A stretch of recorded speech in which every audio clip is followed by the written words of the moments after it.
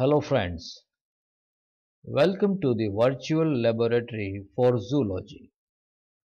You can view the video starting from introduction and move on to the other chapters one by one, learning about the anatomy of hydra in process.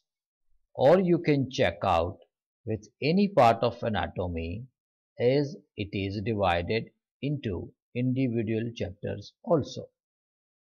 In this video, we will be discussing and learning about Hydra.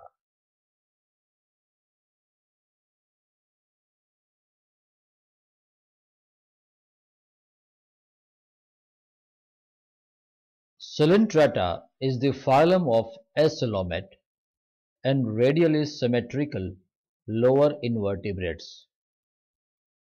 They are also called cnidarians.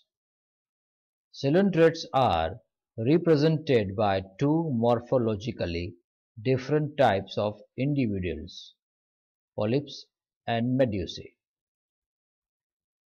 Polyps are sessile with a tubular body such as hydra, whereas medusae are free-swimming with an umbrella or bell-shaped body, such as Aurelia metridium.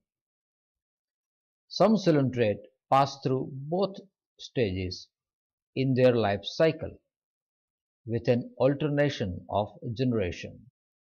For example, Obelia